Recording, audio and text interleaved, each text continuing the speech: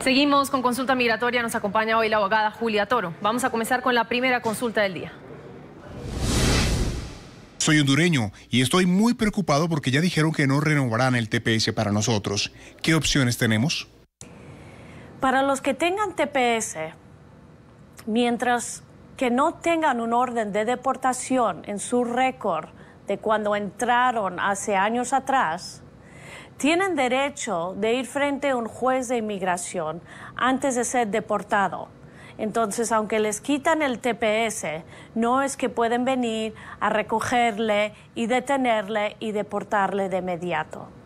Ahora, los que sí tienen en su récord historial un orden de deportación, eh, no hay arreglo ahí.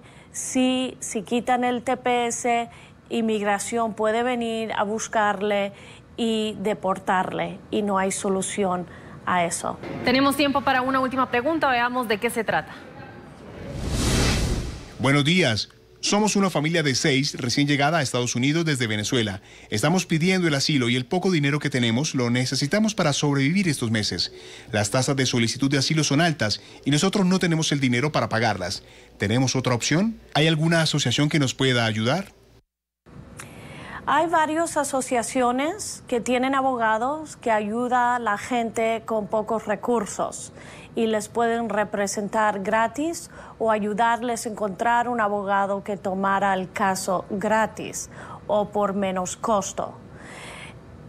Por donde tenemos las oficinas en Washington, D.C., esas organizaciones eh, se llaman Casa Maryland, Esperanza Center, hay otros lugares por los Estados Unidos que se llaman carecen o ayuda.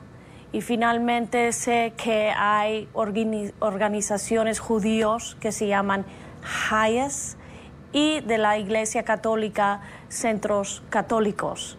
Esos son organizaciones eh, de buena fe y que sí tienen contratados abogados que pueden ayudar a la gente con pocos recursos o ayudarles a encontrar un abogado para el caso.